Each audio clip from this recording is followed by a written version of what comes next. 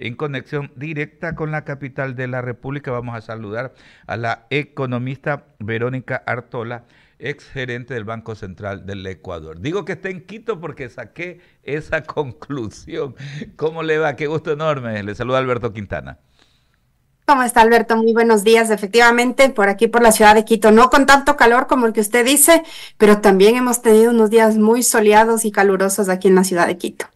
Terrible, terrible. Tenemos que ponerle asunto a esto del cambio climático, ¿no? Al tema del cambio climático. Hay que ponerle mucha atención a aquello. Todavía estamos con una temperatura agradable. Decíamos que en el punto más alto vamos a llegar a 33. Estamos, estamos bien todavía a esta hora de la mañana. En lo que sí no estamos bien es en el en el tema del manejo de las finanzas públicas. Hoy hay algunas noticias, ¿no? Queríamos compartir con usted que tiene esa visión desde la academia, esa visión profesional, la experiencia de haber estado al frente del Banco Central del Ecuador. Por ejemplo, esto de las deudas acumuladas, sea con los proveedores, con los prestadores del sistema de salud, ¿no? Cuando hablamos de aquello, pues hablamos de proveedores de la red de centros hospitalarios del Ministerio de Salud Pública, el Instituto Ecuatoriano de Seguridad tiene lo propio. Hablamos también de esta obligación que tiene el Estado ya, de acuerdo a la reforma a la ley de seguridad social y a la ley del banco del IES, que ya ha entrado en vigencia, pues que tiene un plazo de 10 años para cancelar la deuda total que mantiene el Estado con el IES. Todo ese tipo de cosas son eh, dificultades tremendas como para planificar el manejo de las finanzas eh, públicas. ¿Cómo ve usted todo esto? ¿Qué hacer justamente para de manera ordenada ir cumpliendo con lo que hay que cumplir? Eh, no tener estos atrasos, sobre todo en materia de salud pública, que es terrible no ver a nuestros familiares a veces que van a dispensarios, a las unidades del ministerio o del IES, y no encuentran los medicamentos, no encuentran la atención. ¿Qué podemos hacer? Bienvenida. Gracias, Alberto. Sí, lo que usted dice, no, no nos acompaña el buen clima con la situación fiscal y la situación económica que en cambio no es favorable lamentablemente para el Ecuador. Tal vez empezando justamente con lo que usted acaba de mencionar, el tema de la salud, de las finanzas públicas en el Ecuador, es, está bastante complejo y, yo creo que sí tenemos que, entender que el Ecuador ya pasa por esta situación, yo diría, de crisis estructural de las finanzas públicas, no uno, dos, ni tres, ni cuatro años, sino ya vamos más de 15 años con problemas fiscales, en donde eso de alguna manera tiene también, yo digo, una mm, contaminación al sector real de la economía. ¿Por qué? Porque si el Estado no tiene plata, como usted dice, los, los hospitales no tienen los insumos, la gente se está muriendo, Alberto. No es una cosa de decir, bueno, solamente no pudo curarse una gripe. La gente en los hospitales está muriendo porque ni siquiera tienen los insumos básicos, porque yo me voy a una operación y tengo que llevar los insumos y si no tengo plata, entonces, ¿qué va a pasar? Entonces, esta situación fiscal tan dura, lo que implica es que la economía real, la economía, el crecimiento económico no se está generando en una buena medida. En el Ecuador, yo siempre digo, nos guste o no, el sector público es un dinamizador muy importante. Entonces, ¿esto qué significa? Si el Estado no tiene plata, si el Estado vive permanentemente en déficit, si el Estado tiene atrasos por más de 5 mil millones de dólares, como usted menciona, y no solamente con proveedores privados, em, sino también con los gobiernos autónomos descentralizados, que en teoría estos GATS son los que podrían ayudar a reactivar algo la economía local. Entonces estamos en un círculo vicioso muy complejo. Hay organismos internacionales como el mismo Banco Mundial, por ejemplo, que en una publicación reciente dice que la perspectiva del crecimiento económico para este año 2024 va a ser solamente de un crecimiento del 0,3%. Y yo le he dicho, la mala noticia es que incluso ese tipo de crecimiento es el más bajo de toda la región y debajo de países como Haití, que es el país más pobre de toda América Latina. Entonces, son una serie de factores eh, que yo a, veces también siempre lo recalco. No nos quedemos en lo fiscal, porque efectivamente lo fiscal es complejo, hay que entender, pero en la economía tenemos muchas más aristas y creo que el de la gente que usted menciona, cómo está la gente qué, tanto ha podido sobrevivir, porque ni siquiera es ya salir el día a día, sino sobrevivir en estos últimos años ha sido la cosa más compleja y ahí yo creo que necesitamos que el Estado pueda reactivarse, pueda otra vez jugar un papel fundamental para que la economía algo vaya saliendo del hueco en el que estamos. Claro, pero necesitamos justamente tener un verdadero acuerdo nacional, un pacto social entre los diversos actores. Y eso es lo difícil, ¿no? Lo difícil. Yo me imagino, ¿no? Y usted que ha estado en esas instancias, porque a veces uno cree, ¿no? Es que el presidente pues está en Carondelet y él tiene el, poder total. Pero hay muchas cosas, ¿no? Que pasan también por otros actores. Usted eh, manifestaba algo importantísimo, estas deudas atrasadas, y a veces a mí me encanta recalcárselo a la audiencia y a nuestros seguidores, ¿no? las deudas, por ejemplo, con los tres niveles GACS, llámese prefecturas, municipios y, gobiernos parroquiales rurales, eh, eh, justamente tiene un tremendo impacto, porque ellos, por ejemplo, cuando van llevando adelante su plan de obras, sus programas, sostienen sus programas sociales en base a los recursos que les transfieren mensualmente, pues permiten también dinamizar la economía local. Ya el dueño de la ferretería, el pequeño constructor que se ha adjudicado una obra en alguna ciudad pequeñita, mediana o grande, justamente tiene esa posibilidad de a su vez tener para pagarle los sueldos a los trabajadores, para pagar a su vez ellos también a los proveedores, etcétera, etcétera. Entonces todo un ciclo, ¿no? Que se ve detenido cuando hay estas dificultades. Por eso le preguntaba, pero ¿cómo podemos enfocar este tema para atenderlo de forma integral? Porque también, por ejemplo, eh, cuando hablamos de los temas de los GACs, muchas autoridades reclaman los atrasos, reclaman incrementos, pero no escuchamos, pues, por ejemplo, de parte de ellos que digan, con responsabilidad vamos a utilizar, a, mejorar la calidad del gasto. Vemos increíblemente como, por ejemplo, siguen municipios que parece que a los alcaldes y alcaldesas los eligieron para que sean promotores de artistas. Viven promocionando la llegada de artistas y todo aquello. Y no se atiende, por ejemplo, a los temas de infraestructura y saneamiento básico, que debe ser el principio y el fin de una administración local, ¿no? A ver, y usted acaba de topar dos temas súper importantes, Alberto, que yo coincido plenamente y, públicamente yo también lo he estado como que difundiendo, conversando, motivando para, para trabajar, ¿Qué es esto del gran acuerdo nacional, como queramos que se llame, porque a veces algunos nombres dicen, no, es que ya se dañó la palabra, es que ya se, ni sé qué, ni sé cuánto, ok, pero la verdad el gran acuerdo nacional es súper importante y ahí tienen que estar todos los actores, me refiero a sector público y público en los diferentes gobiernos, del gobierno central, los GATS, etcétera, la academia, los gremios de profesionales, los grupos sociales, etcétera. Permítame comentarle, nosotros en la Universidad Católica de aquí de Quito eh, jugamos un papel súper importante en el tema de las movilizaciones tanto del 2019 como del 2022. Y en, esos y en esas movilizaciones que fueron complejas, sobre todo la del 2019, se llegaron algunos acuerdos, algunos acuerdos que están ya sistematizados, está hecho un resumen, etcétera, de todas las demandas sociales. Básicamente nos quedamos en 10, en 10 demandas sociales que son súper importantes trabajar.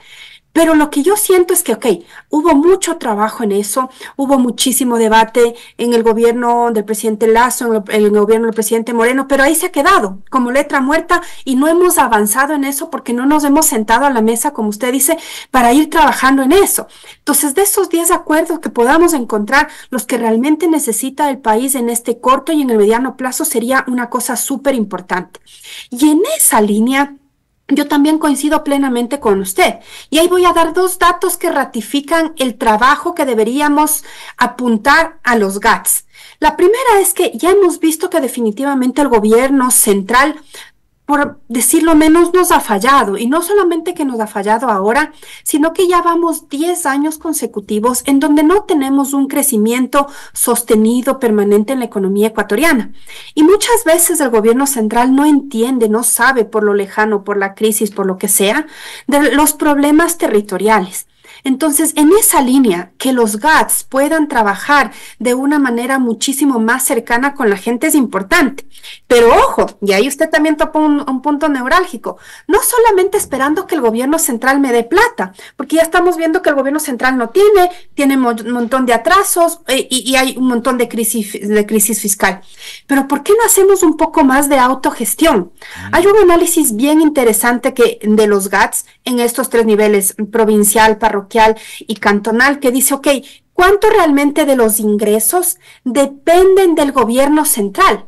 Y prácticamente el 80%, Alberto, el 80% de los ingresos de los GATS está dependiendo de los ingresos del gobierno central. Entonces, claro, algo le pasa al gobierno central, no me da las transferencias y caigo en esas crisis que estamos viviendo.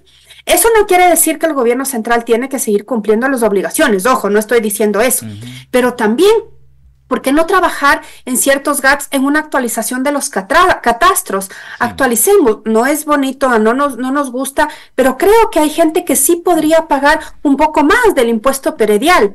Aquí en Quito hay casas grandes y cosas que no pagan más allá de mil dólares y estoy seguro que van a poder pagar más. Yo lo digo para los grupos que, vulnerables que están eh, complicados económicamente, pero sí sería importante que los GATS también trabajen en eso y exactamente que no se dediquen a gastar más del 50% de su presupuesto en las fiestas de carnaval, en traerle al mega, hiper, super artista o estar haciendo aceras y bordillos, que creo que no es el objetivo. Hay problemas en el Ecuador tan serios, Alberto, como el tema de la desnutrición crónica infantil. Y una de las formas en las que podríamos atacar a la avena eso es a través de agua potable y, el tema del trabajo de excretas, de cómo vamos haciendo eso. Entonces, ¿por qué no dedicamos? Pero muchos alcaldes dicen, no, es que es una obra subterránea que no me va a dar votos porque la gente no ve.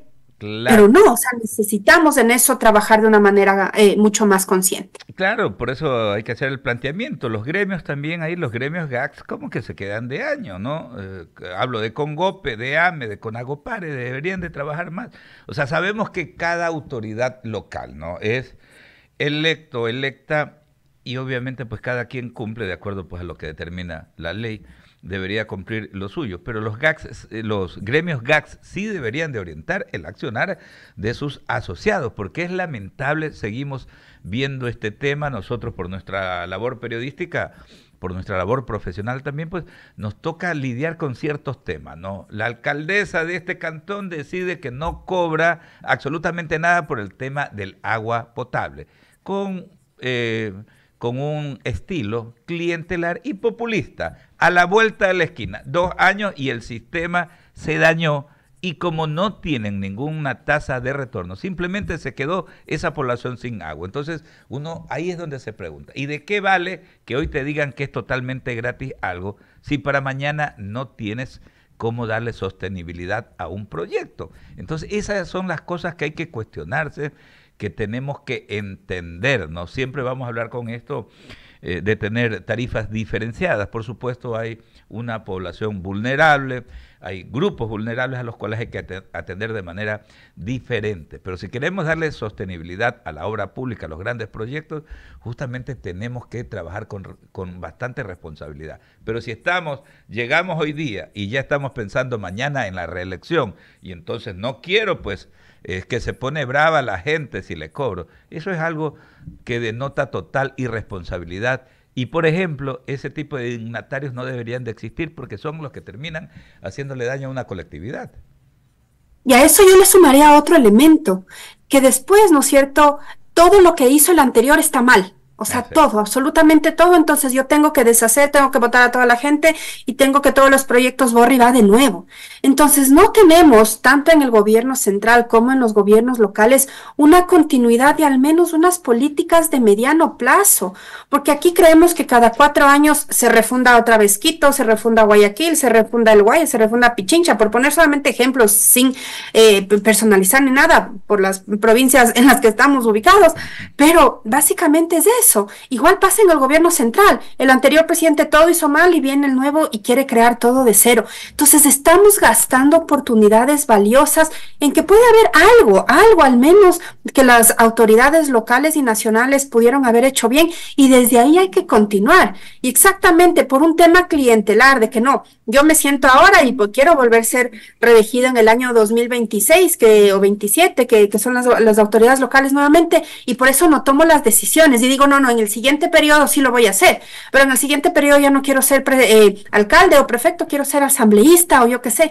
Entonces vamos pensando en esos intereses personales que lo único que están haciendo daño en el Ecuador es en eso, que no podamos pensar en medidas estructurales, Alberto. Yo siempre me mantengo en estos momentos de crisis, en donde los datos no nos acompañan, donde el Banco Central está hablando ya de una caída permanente o lo estamos viendo en, en los datos, lo que necesitamos no son medidas de shock, no son medidas de uno o dos años, necesitamos ir construyendo una economía que las medidas sean más estructurales y me permitan algo realmente cambiar la economía, si no ya estamos una década entera en donde no crecemos ni local, ni territorial, ni, ni nacional, ni nada, y eso va em, complicando incluso más los problemas de seguridad en los que estamos viviendo, porque todo esto transversalizado con los problemas de inseguridad que en ciudades em, como Esmeralda, Esmeraldas, el mismo Guayaquil o Daule, pues se vive mucho más complejo y ahí la presencia del Estado nacional y local es indispensable. Claro que sí, a mí me aterra pensar algo, ¿no? El viernes 13 de septiembre, es decir, y estamos que pues a menos de dos meses, comienza el proceso de inscripción de candidaturas en el Consejo Nacional Electoral. Y uno escucha pues noveleros y noveleras que aparecen todos los días, ¿no? Y eso yo no le quiero quitar la aspiración, o sea, todo el mundo puede aspirar lo que sea. Si quieren ir a la luna, perfecto, que vayan a la luna. Pero lo que eh, no resulta responsable es el hecho de aparecer aquí porque mi abuelito me dijo, mi papá me prometió que, voy a ser candidato a la presidencia de la República. O sea, ese tipo de cosas sin escuchar un verdadero programa en lo que tiene que ver con esto que estamos hablando, ¿no? Con darle una nueva dimensión a los modelos de gestión administrativa, porque la falla viene por ahí. Aquí no tenemos modelos de administración que estén pues acorde a esta situación que tenemos, que hay que enfrentarla. Y para eso, pues no podemos estar eh, pensando, eh, y en ningún tipo, en, ningún nivel de gobierno, estar pensando primero en la reelección, es que yo tengo que reelegirme. Entonces tomo cualquier eh, decisión que no me vaya por ahí mermando votos. Entonces, ese tipo de, de, problemas son los que debemos de enfrentar de una manera pues más radical, más responsable y por eso, insisto, es necesario que vayamos dándole forma a este gran pacto social, ¿no? Con una visión integral de lo que es el Ecuador, con ese aporte, ¿no? Yo cuando hablo de la clase dirigente hablo no solamente de la dirigencia política, la dirigencia gremial, empresarial, la academia que tiene que hacerse presente. Y reclamo a veces también el hecho de que la academia como que se nos queda un poco en las actuales circunstancias, tiene que tener pues una voz más potente como para con toda esa experiencia y capacidad poder darle orientación a estos postulados que debemos de enarbolar, porque eso debe ser lo primero, ¿no? Lo primero es eso, tener una base. Queremos tener este modelo de país para, a partir de aquellos, sí, quienes aspiren, pues justamente vayan, pero con ese horizonte. Si no tenemos ese horizonte, vamos al fracaso de siempre. Por ejemplo, yo me estoy imaginando ahorita, ¿no? Ya estamos en la época en que hay que ir dándole forma al presupuesto general 2025. Entonces, agarraremos la misma matriz que se agarra desde hace 100 años, ¿no? Con la misma matriz y se vienen arrastrando todo eso en vez de agarrar un presupuesto cero. Pero claro que ahí tenemos también las condicionantes constitucionales que obligan que el presupuesto tiene que irse incrementando. O sea, no hay ingresos, pero el presupuesto tiene que incrementarse. Son cosas aladas de los cabellos. Entonces eso es lo que hay que ir enfrentando, economista. Sí, me encanta lo que usted dice, el modelo de país que queremos. Yo creo que hacia allá se tiene que trabajar, que queremos un país eh, socialmente responsable, que piense en los más vulnerables, ambientalmente sostenible. ¿Qué queremos? Entonces, a partir de eso, necesitamos ir trabajando. Eh, y efectivamente, a veces hay estudios lindísimos que se quedan en la academia, pero creo que no es suficiente. Necesitamos justamente estos espacios de debate, estos espacios de interacción con la sociedad y a ratos incluso con la vida real, porque puede ser un modelo econométrico lindísimo que me dice un montón de soluciones, pero en la vida real es distinto.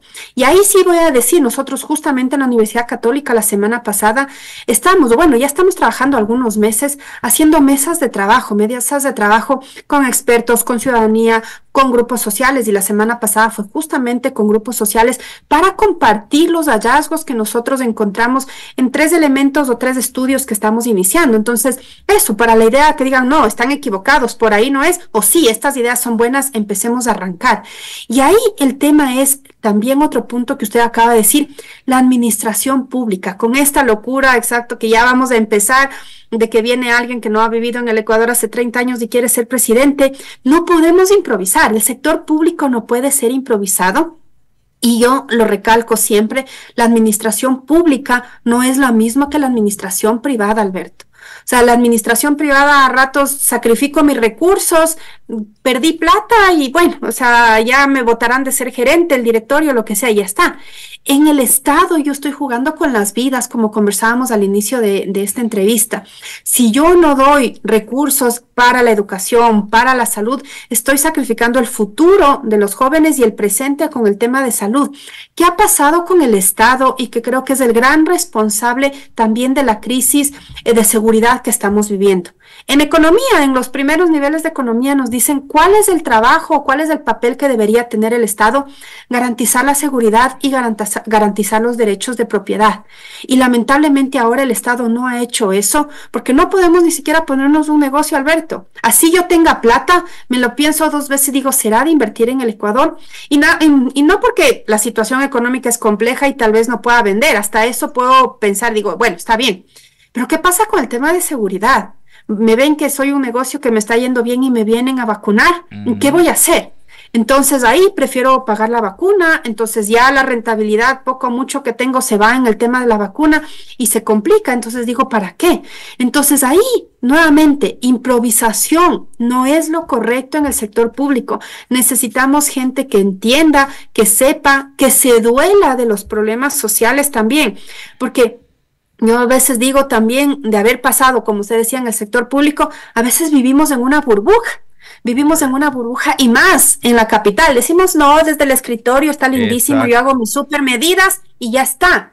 Y vamos al territorio y es otra realidad completamente distinta. Entonces yo en, estos últimos días, claro, es otro Ecuador, exacto, porque en estos últimos días que se habla de recesión o recesión, como quiera, pero algunos analistas dicen, no, no estamos en recesión. Pero salgamos a la calle, Alberto, salgamos a las ciudades, que la gente cada vez más está vendiendo en las esquinas porque no puede llegar a fin de mes o no puede cerrar la semana. Y eso peor en los territorios. Entonces, nuevamente, a mí también comparto su preocupación. ¿Quién irá? ¿Quién vendrá? ¿Cuáles serán las megas ideas que pueden generar? Pero creo que no necesitamos ahorita pensar en mandar el cohete a la luna desde el Ecuador si no necesitamos arreglar los problemas sociales ahorita de territorio locales que necesitamos. Ahí tenemos que ponernos de acuerdo. Economista y consultora, subdecana de Economía de la Pontificia Universidad Católica del Ecuador, ex gerente de Banco Central del Ecuador, Verónica Artola Jarrín. Qué gusto conversar con usted. ¿eh? Muchísimas gracias, Alberto, de igual manera, y que tengan unas buenas fiestas y que disfruten estos días y un excelente jueves. Muchísimas gracias. Esperamos verla pronto por acá por Guayaquil. ¿la? Siete de seguro que sí, seguro que sí. Gracias. Siete de la mañana con 26 minutos. Rápido saludo a don Ramiro Cepeda Alvarado antes de ir al corte comercial. Ramiro, qué gusto enorme, fecha especial 25 de julio. Sí, Albertito, buenos días.